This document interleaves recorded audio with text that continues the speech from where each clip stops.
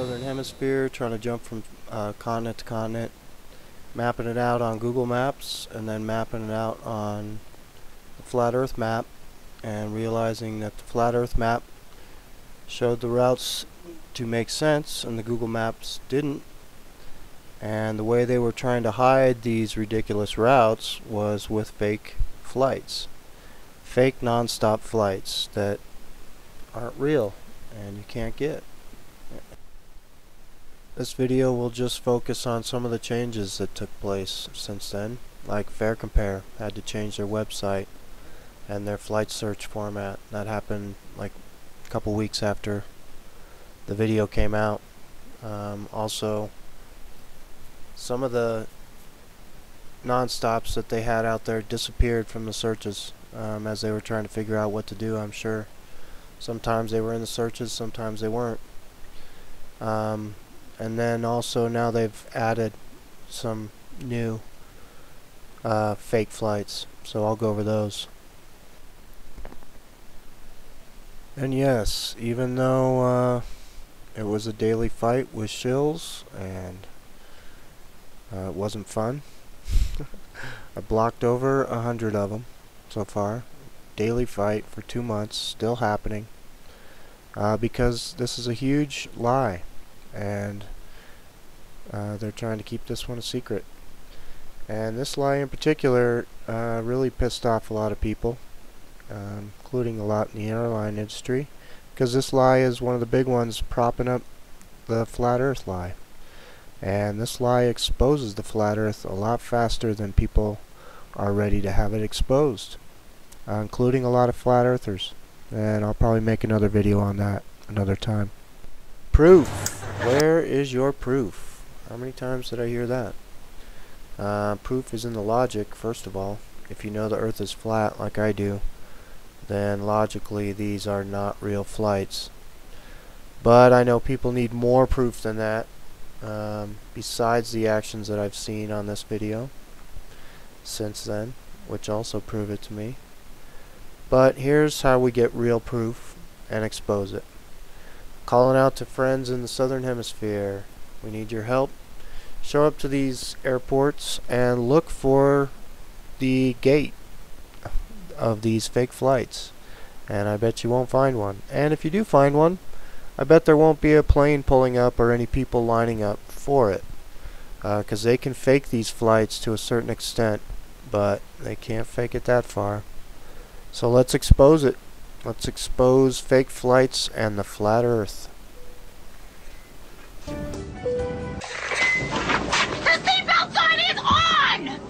First, please make sure that your seatbelt is securely fastened. Seatbelts can be purchased for $5. To fasten, insert the metal fitting into the buckle and tighten the buckle by pulling the loose end away from you. To release, purchase a release flap for $7. Now I know what you're thinking. We've never paid for seatbelts before. Once we've reached our cruising altitude, your flight attendant may or may not go down the aisle with snacks. If she chooses to, each passenger will be given a single peanut.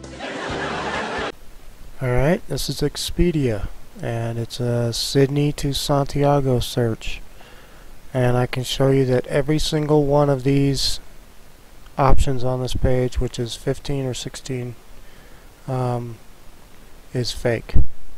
So we know this one is fake. This one is the non-stop from Sydney to Santiago. Qantas 27 sometimes it shows up in the search sometimes it doesn't. This one is fake. It used to only be available three days a week now it's available, I think, four days a week or so it says, but this one is fake. 12 hours and 40 minutes for um, for that flight. Nope. You'd think after all these years someone would listen to you. Oh, well, airport management, the FAA, and the airlines. Oh, cheats and liars. All right, let's get out of here.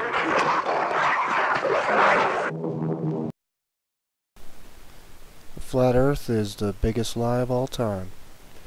And they've kept it going for hundreds of years now. And the way they do that is uh, with a lot of supporting lies.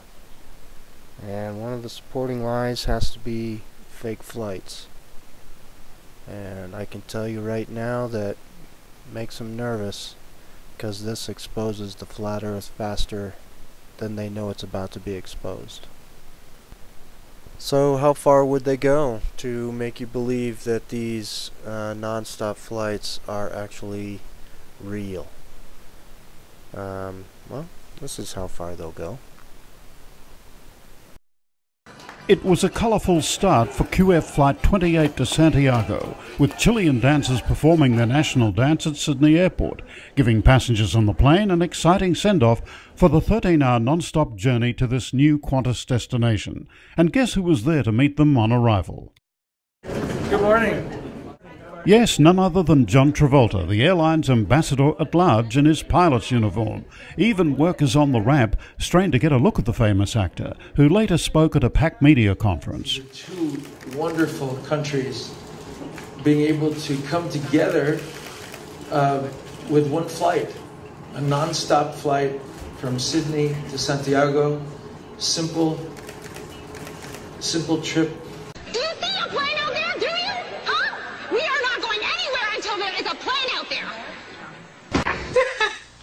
So, that one is fake, and every single other one of these ones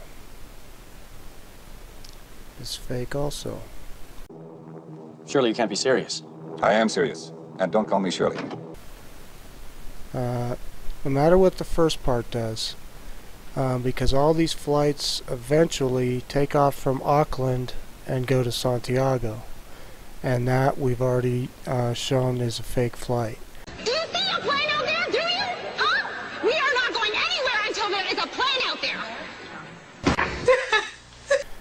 Um, you can't do it. So, uh, all you really need to see, this is that 11 hour, 20 minute flight for 6,000 miles, supposedly.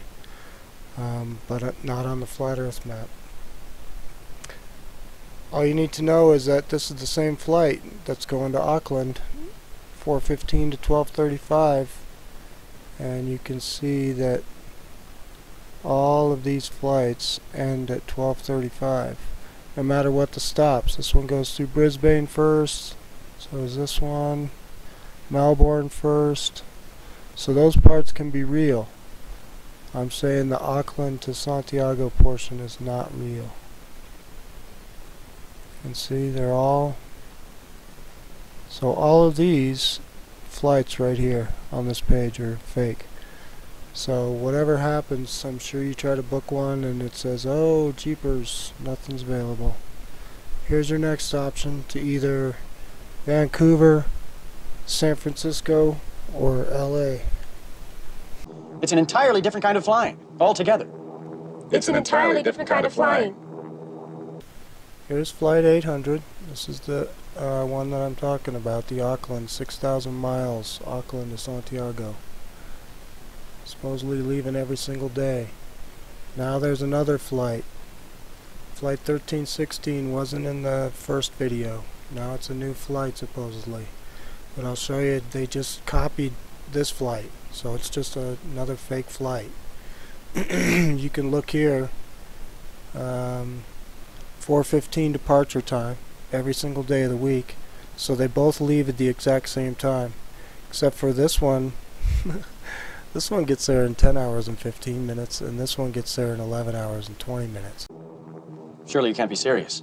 I am serious. And don't call me Shirley. So, yeah, this one, same jet, same seats, all that stuff. So, now they're just getting sloppy. Uh, so now there's two fake ones, and you can see that Flight 27 didn't come up. We can close these up and I'll show you that there's no non-stop in this. So interesting. And here's your dead giveaway. The Auckland flights, these are the two fakes, 813 16, 7,337 miles. Your next options, double.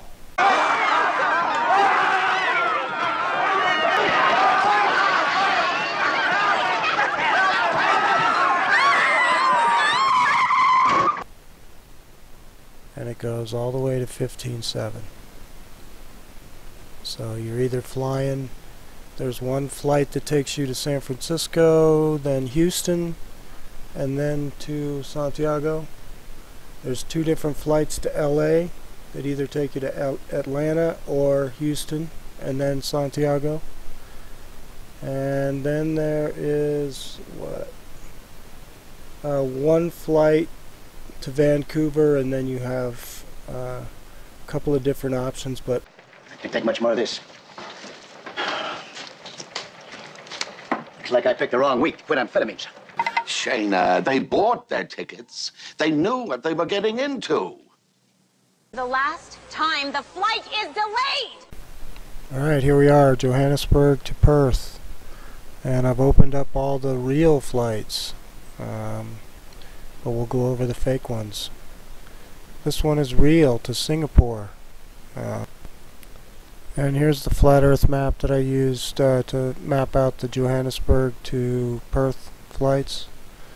And this flight right here from Johannesburg to Singapore to Perth, almost a straight line and it's 7,800 miles. So that's where I'm getting that 5161 cannot be a real flight. Also all these Sydney flights are fake. They disappeared from the search altogether the other day, but they're back today. Um, it's almost a straight shot on the flat earth map from Johannesburg to Singapore to Perth. And this is 7,803 miles.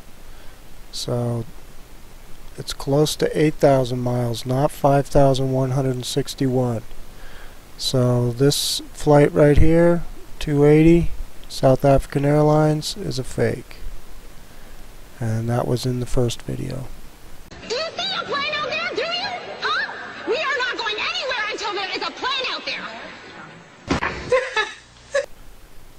there. Um, you'll see a lot of these QF64, Qantas 64, all of those are fake. Uh, those are all to Sydney. The first flight is to Sydney, 6:10 p.m. You'll see all of them are leaving at this time. So whatever the rest of the flight is, doesn't matter because the first flight part is fake. So this is a fake listing. Chicken or fish? Chicken or fish? You see they're listing it at uh, even the one stop 8882 which is only one mile less than the two stop amazing. Uh, but yeah. Um, this flight to Dubai real. And that is 9,597 miles. Johannesburg Dubai Perth. And this one is to Abu Dhabi International and this one's real too. But all the Q6 QF64s are fake because this first part of the flight Qantas 64 6,847 miles. Uh-uh. A lot longer than that. And all the Sydney flights weren't even on the search the other day about two or three days ago. Uh, today they are. So yep there you have it. And you can see I'm not using any dates in this search so that way it pulls up everything. And I'll show you I've got everything checked over here so any flight any stop these are all the different airports.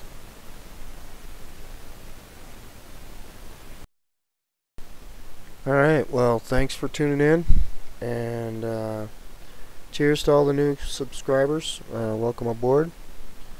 I kind of took a break there for a while chalked that up to partially summer finally hitting where I live.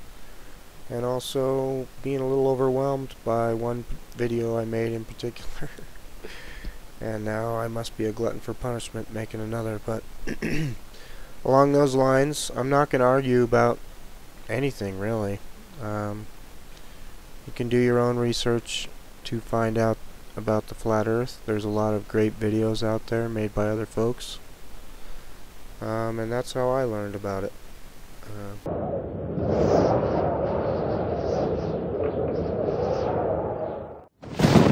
When I first heard this flat earth subject, I dismissed it without even giving it a second thought. But more recently, at the beginning of 2015, I ran across a few flat earth videos again. And while looking into the fake moon photos circulating around, I saw that people were claiming that the images from Earth from space were fake as well. Pretty soon, the flat earth subject became viral online. And after looking at the Apollo missions one night and coming to the conclusion that they were nothing more than a huge con game, it jarred my memory about something. And for a very specific reason, I decided to look deeply into the flat earth without just dismissing it blindly as so many do. Why did I look into it this time? Well, I do pray for knowledge and wisdom and discernment, but maybe the recent Apollo footage I watched helped. However, I live near a very large lake, Lake Ontario, and I happen to remember going to the beach as a kid and looking across the lake and seeing New York State coast off in the distance. I never ever thought anything about it ever, except I remember it being there when I went to the beach. Now, I've been to that beach a hundred times over the years.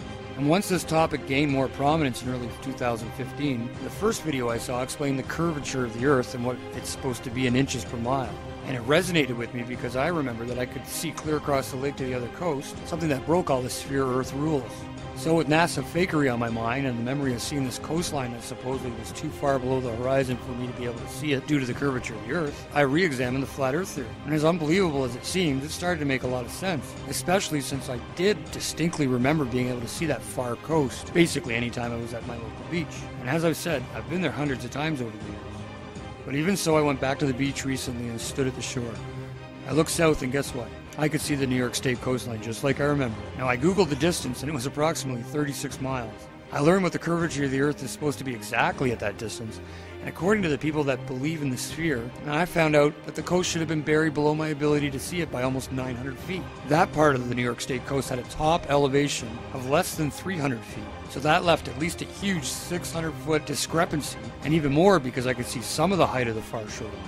Was something really wrong with the reality that they've been selling us ever since we were born? Well, I ended up becoming a little fixated on proving or disproving the concept. And at first, I truly thought disproving the flat Earth would be rather easy. I thought there had to be a reasonable explanation why I could see so far beyond the so called curve barrier. I learned about light refraction and superior mirages. I learned about perspective and horizons. I learned about how our eyes work. I viewed dozens of similar experiences on YouTube. I listened to experts and people who thought they had logical but spherical explanations. In fact, I tried for a few months to debunk the concept and just couldn't. The more I looked into it, the more sense it made, and the less likely that the sphere model we've been spoon fed since birth was a reality. It's just flat out wrong. And as more people shared their experiences and proofs online, it only added to my growing, pretty much unwavering belief that the world is not what we've been told. And learning about how our eyes work and how perspective work helps a lot with understanding sunrises and sunsets and ships disappearing hull first at sea and other supposed sphere Earth proofs. I can't say for certain what shape the Earth is or how big it is, or if there's an Antarctic ring or a barrier beyond it, or if it's an infinite plane. Maybe everything we theorize is not complete. There are so many possibilities that it blows the mind, and the flat Earth has no real complete standard model because it's all based on us finding out things for ourselves. We agree on the facts and certain basics, but the rest is only hypothetical even if it seemingly makes sense. And as the evidence mounts for both the flat Earth and against the sphere, I wanted to create a special place where folks can learn and share what they've learned with other supporters. Differences of opinion are certainly going to come forth and should be expressed openly.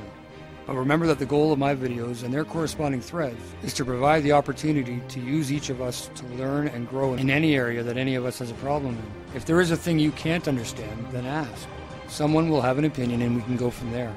If you have a point to make against what is considered an accepted flat earth fact, please provide any relevant links or supporting proofs or videos.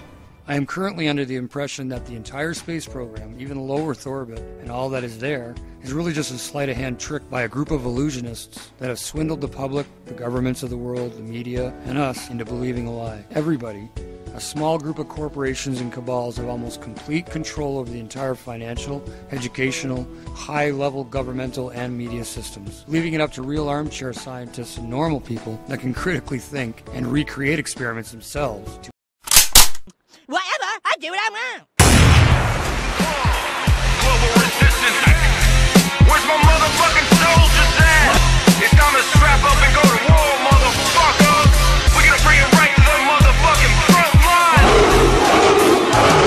It's like we're living in a cage with invisible walls. The wicked zeitgeist of life making grown men crawl on their knees, begging, please save us from the boogeymen funded by the CIA, funneled through Arabian banks like a shank to the neck. They hit you from the back, no sweat. Ho check and watch us shake and take away your freedom. You really don't need them when you're tucked away safe and protected by FEMA. Then you must be a dreamer like the great pretender. Ask the Second Amendment, why I'll never surrender. But I'll never plead the fifth when it comes to September. I'ma yell it from the roof and expose the agenda. It's time to wake up and open your eyes to the matrix. This is going out to the truthers and patriots. Living free and dying hard, speaking through battle scars. Astronauts to the moon. Nine. Ignition sequence start. Six, five, four, three, two, one. Welcome to reality.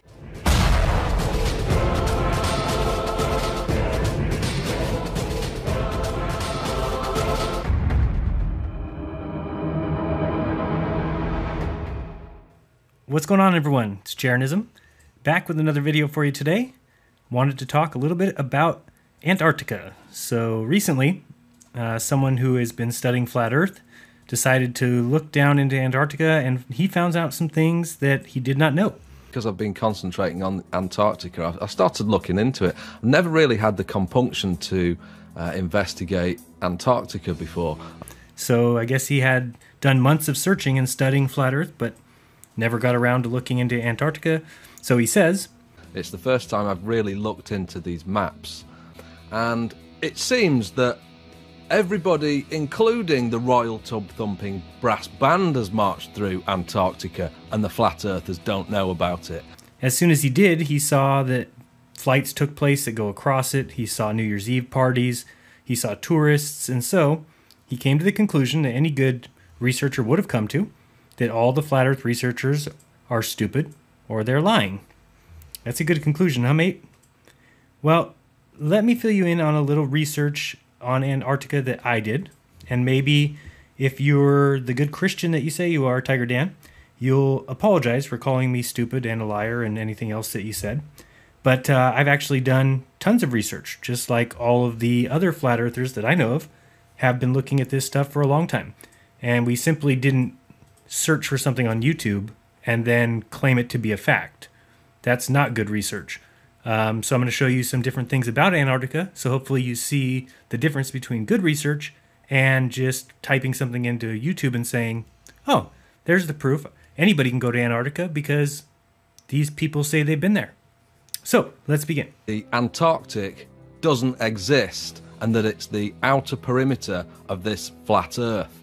It's nonsense.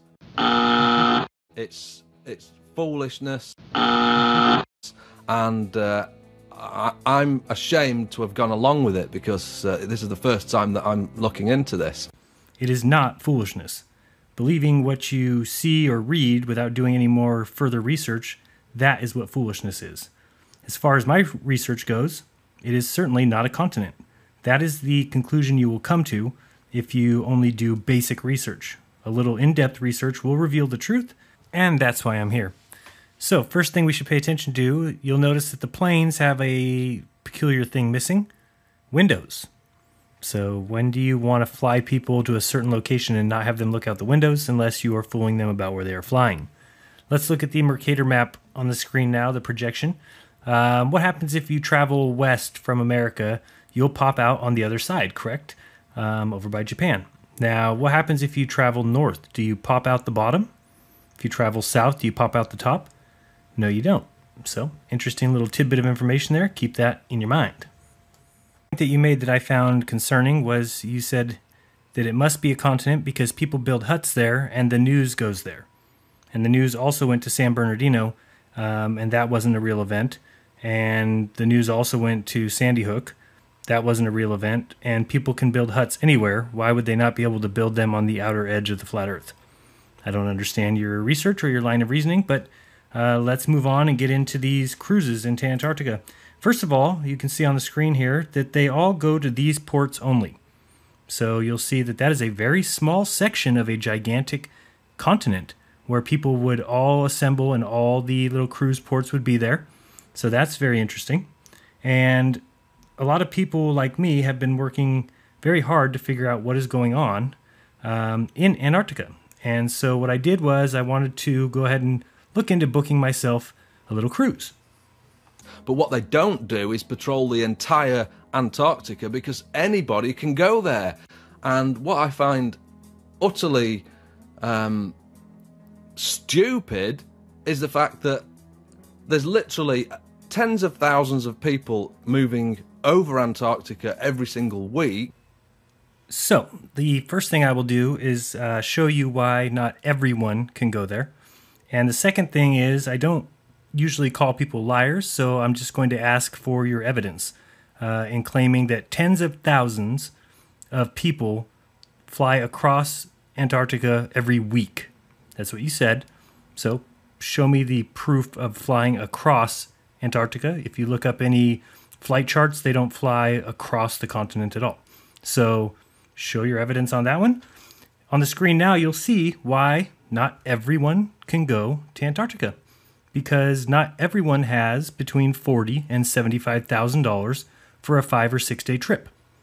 So I'm on this site. It's called PolarCruises.com. I'm looking at all their little deals, and it looks like a scam to me because um, you don't need that kind of money for a trip to Antarctica. So anybody charging you $45,000 to $75,000 for a five day trip where you're staying in a tent and peeing in a bucket, uh, there's a problem there. So I also looked up and tried to find out how many people fit on one of these planes, and they usually have 66 uh, people on the plane. And if you multiply that by the ticket price of 40,000, you get uh, about $3 million. So this is where I start to smell scam. Um, to make that kind of money is not uh, necessary on upcharging that much. So the first thing I did was run the site through Whoisology. Really cool site if you're looking for the owner of a site or IP information, registrar information. And when I found it, I got some other interesting news. He owns over 150 other related domains besides polarcruises.com. In fact, look at all these. This travel agency or scam center uh, have all the Antarctic and Arctic trips in their hands. You must go through them. So that was just more fuel to my fire. Sites like penguincruise.com, Antarctica Cruise, Antarctica Tour, Antarctica Trip, Polar Bear Cruises, Antarctic Voyage, Antarctic Journey, Antarctica Journeys, Arctic Voyages, Antarctic Tour, Antarctic Vacations, Antarctic Vacations with a hyphen, Antarctic Trip, Antarctic Adventures, Antarctica Cruise. So, as you can see, he definitely has the corner on the market. Next up was to find out are they even in business or is it an all out scam? So I searched for reviews on other sites. Obviously, not their own site where they could make whatever review they want, but on other sites. First review I find uh, is the review right here. Uh, Polar Cruises reviews. Maybe this is too late to help you, but here's our experience with Polar Cruises. They were very helpful at the beginning when we first called about a cruise. They told us there was only one cabin left on the cruise that we were interested in, and that there was a waiting list for it, which, upon looking back, doesn't make sense. Why sell it to us if there's a waiting list already? But we went ahead, paid the deposit, and wired the balance. Fifteen days before departure of the cruise, an unexpected medical issue emerged, and we couldn't make the cruise. We had no trip cancellation insurance, big mistake, and immediately called Polar Cruises. After some delay, Polar Cruises told us that Oceanwide Expeditions, the ship's operator, would allow a name change for the cabin, that is, find someone else to take the cabin, but we had just 24 hours to do this, and that if we couldn't find anyone, to call them immediately to cancel our booking but with zero refund. We asked if they could help us given the extensive contacts they have, but they didn't even reply to this appeal and did absolutely nothing to help.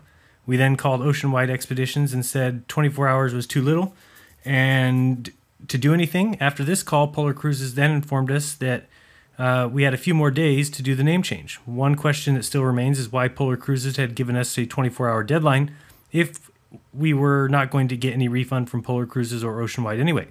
In sum, our experience with Polar Cruises was not a good one, and I would never recommend them. So, you're talking about probably the theft of $25,000. Just a guess right there. Uh, who knows how much the trip was for? Could have been 70,000, could have been 10,000. I don't know, but I was on the right track. Um, there's a problem with taking a cruise down in Antarctica. Now, I hope you are ready for this story to get a little bit juicy. Um, thanks for holding on so far because it's about to get real interesting. So, in looking at the page here that lists the employees, I'd already looked up Jim, couldn't find anything. He's the one who owns all the domains. Um, I looked up Sharon, couldn't find much. Again, both Jim and Sharon have very uh, non unique names. Uh, but Chuck and his wife, um, Lynn, were easy to find. Here you're looking at Chuck Cross. He is a uh, Antarctic polar um, expedition leader, so it says. So is his wife. But they only have one photo of themselves all online. So, I mean, if you can search Google, I did here in a second, you'll see it on the screen. Um, and that even putting her name and Bend, Oregon, where they supposedly live, uh, turns up just that one photo and only articles um, that look like they come from their site or in regards to uh, them being travel agents. You can see here just that one picture up at the top. So that left me with one other person. And I looked her up, and I always thank my lucky stars when I see somebody with a unique name. They're usually easy to find online. Her name is Nina Spinrad. So here it talks about her being an outdoor lover. And so I began to search Spinrad, Nina, and I get a ton of results for a Dr. Richard W. Spinrad. Who is he? Well, he was named in 2014 as the NOAA Chief Scientist by Barack Obama. Then I see Mr. Spinrad was the president of research at Oregon State before his appointment as head of the National Oceanic and Atmospheric Research Center. And of course, we know that this travel agency is based in Oregon. So, prior to that, he was the research director for the U.S. Navy. He also is part of the Global Warming Lie, as he is a direct and permanent representative to the United Nations Intercontinental Oceanographic Commission. He has been given awards from Bush and Obama, and now there's no way that this Nina is related to him, right? So I found a obituary for a Gene Thompson, and if you're ever looking for relationships, the best place to go is obituary since it spells it right out for you. And in Gene Thompson's obituary, he was survived by his daughter Elena and her husband Dr. Richard Spinrad, and their son Gary and his wife Nina Spinrad. So, for those of you following along, we now have one company who owns all the domains for Arctic and Antarctic trips. It has five employees. One of them is the daughter in law of the head honcho and President Barack Obama's selection for chief scientist for the NOAA. So that means we have a Navy veteran, a military man who has taken a military oath in charge of the ocean as chief scientist, just like all of our scientists who went to the moon, who are on the ISS or are currently or former military. Worth noting, if you spend 10, 20, 30 years in the military and then you get honorable discharge or you leave or retire, you're then considered a civilian. So if you become an astronaut, you are a civilian astronaut. So when we look closely, we can see that honestly, most of what we think of as science has been militarized. Also, wanted to point out if you look at the screen now, you'll see I did some flight tracking. Um, and I don't see any planes that are going anywhere near the Antarctic landmass, which really only makes sense when you think of Antarctica being the ring around the flat plane. If it were a giant continent on the bottom of a globe, why wouldn't we be crossing it to go from Australia to South America, etc.? And flat earthers just don't seem to know about this. And they think that Antarctica doesn't exist and that it's it's a military manned base and they don't allow anybody in there. Well, anybody can go to Antarctica.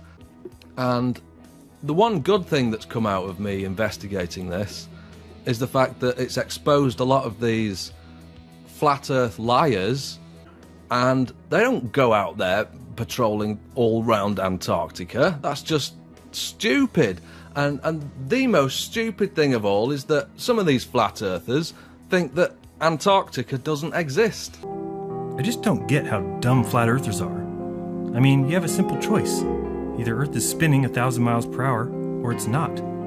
Either it travels 21 million miles a day, or zero. Stars are either trillions of miles away, or they're lights in the sky. All that HD footage confirms NASA's in space doing great things, or they're just stealing our money. It's really sad that these guys are so intellectually stupid that they believe their own eyes. I mean, their own senses. Not me. I know where truth lies. It lies in the textbooks, provided and written by Freemason Jesuits who want a better life for me and my family. They want me to give them a run for their money, to challenge them and beat them in this game of life. Thank non God for science. So, I wanted to talk a quick minute about GPS, and sorry for my scribbles, but hopefully this will help you understand a little better.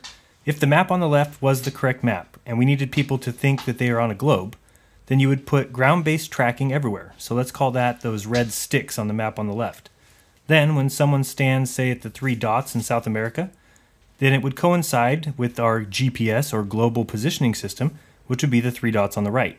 We could just say that those three dots were being tracked by big metal satellites orbiting above your head, when in actuality they were ground based stations.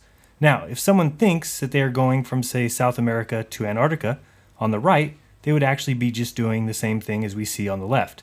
Same thing with Australia. Going from Australia to the South Pole would look the same way on the left as on the right. And as people fly around the world, the GPS simply tells them where they're going. So even though you're just doing a big circle, the GPS makes you think you're on a globe. So I did find some flights that leave Australia, head down, and they say they cross the South Pole, turn around, and return. So from the three places in Australia where these planes leave, all would take 12 hours according to the site, but all distances are 8,000 miles plus.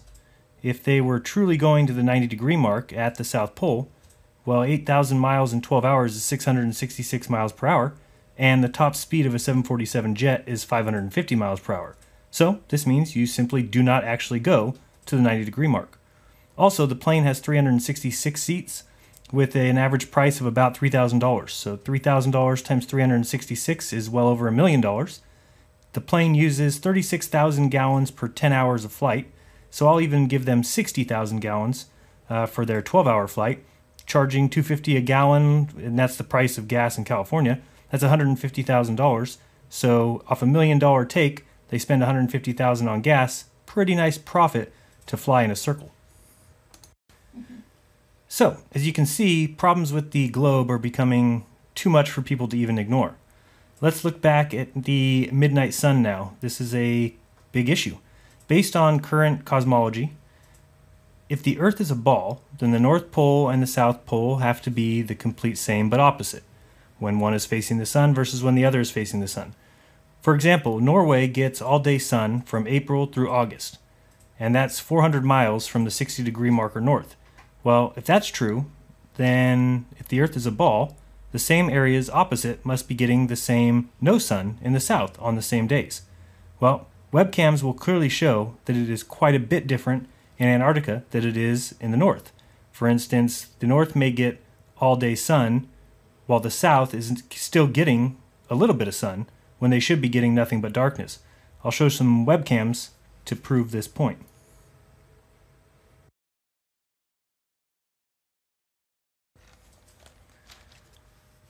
So, the first question you might ask is, of course, well, what is the midnight sun and where can we see it? And if we take a look at the answers we get from Yahoo's Answers.com, which I'm sure has nothing but the truth, right?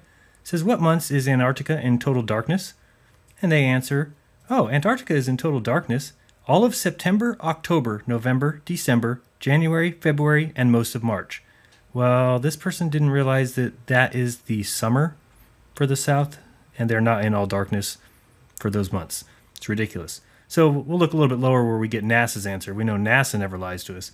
NASA says that Antarctica has six months of darkness and six months of summer, and that the sun only rises and sets one time a year.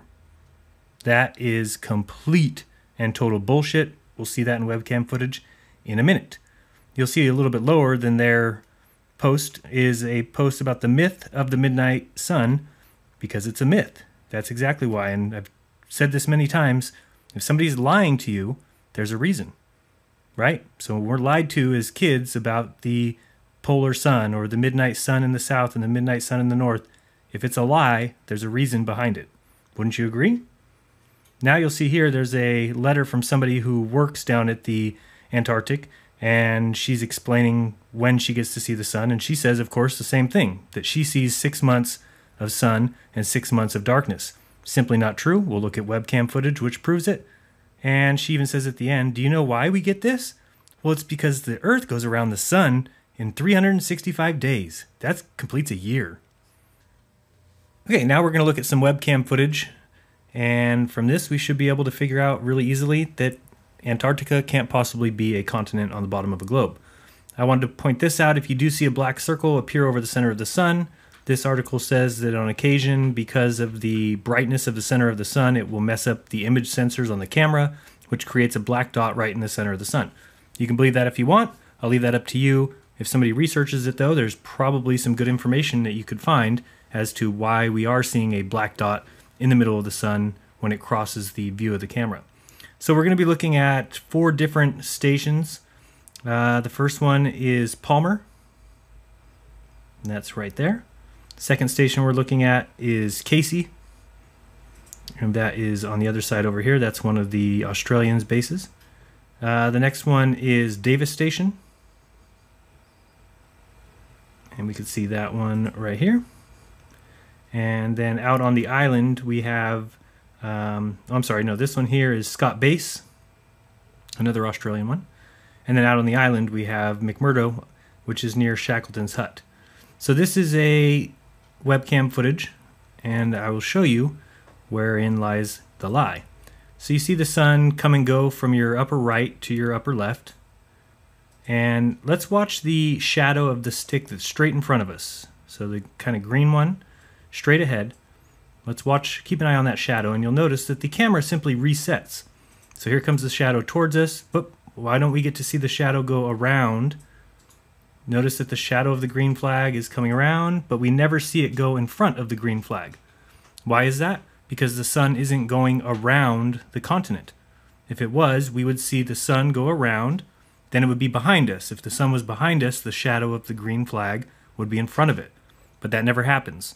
What happens is the sun is coming in from the northeast, coming across the horizon, and going off to the northwest. You can even watch the sky. If you watch the sky, you'll see it is circling northeast to northwest, not circling around us. Again, if it was going around us, we would see that flag pointing straight forward. You'll see um, that there's definitely an issue with what we're taught. One of the easiest ways to prove that also is the amount of time that it would get all day sun or all day night versus the North Pole. And we've got people who live near the North Pole in Norway, in Alaska, in Canada, and those people can tell us what they see. And what they see does not match the opposite down in Antarctica, meaning if in the North Pole they're getting four months of full sun, then at that exact time, the South Pole should be getting four months of full no sun. Doesn't happen. At the most, they get six weeks. So it simply means we don't live on a globe. Now you'll notice here that they start when the sun starts getting really low, they'll actually blow a fog or a smoke or a could be even snow. I don't even know what they're blowing, but you'll see if you look straight ahead that there's a blower that blows along the horizon. The reason for that is so that people who are down there don't get to see what the sun is actually doing, which is not circling their heads.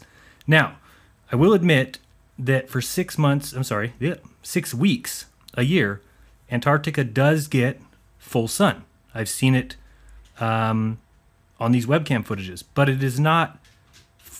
The, they don't have a view of the sun, so I know it doesn't make sense, and I fully admit that we, this is something that we need to research because somehow when the sun leaves to the northwest and circles all the way on the other side of the earth in its daily path, somehow it is remaining bright in Antarctica. Now, is that because of something in the atmosphere? Is it being some sort of reflection? Not sure. Uh, but it does prove two things A, that it needs to be studied, B, that it's not a globe. Because if it was a globe, you would simply see the sun do a complete circle above your head. Now we can see this flag straight in front of us. Tell me when, why don't we see, where's the shadow of the flag at the, I don't know, what would you say, probably from 7 o'clock till midnight as far as a clock. We don't ever see the shadow there. See how the shadow starts at about 5 o'clock, or no, that's about 7 o'clock, and rotates counterclockwise. We see it come all the way up to about 1 and disappear every single time. That again comes down to if they're lying to you, there's a reason. If things are real, you would have a 24 hour webcam. Think of the ISS. We don't get to see 24 hours of footage from space, just like we don't get to see 24 hours of footage from Antarctica. But you can watch pandas for 24 hours, or you can watch the grave of Andy Warhol. And so, what I'm saying, as I've said a million times, is use your head. Why wouldn't they show you 24 hour footage from Antarctica? It's because it doesn't match what's in textbooks, because it's not true what's in textbooks, because it is not a continent on the bottom of a big ball, mostly because you can't live on a ball. There's a lot going for the flat Earth. Yeah, absolutely.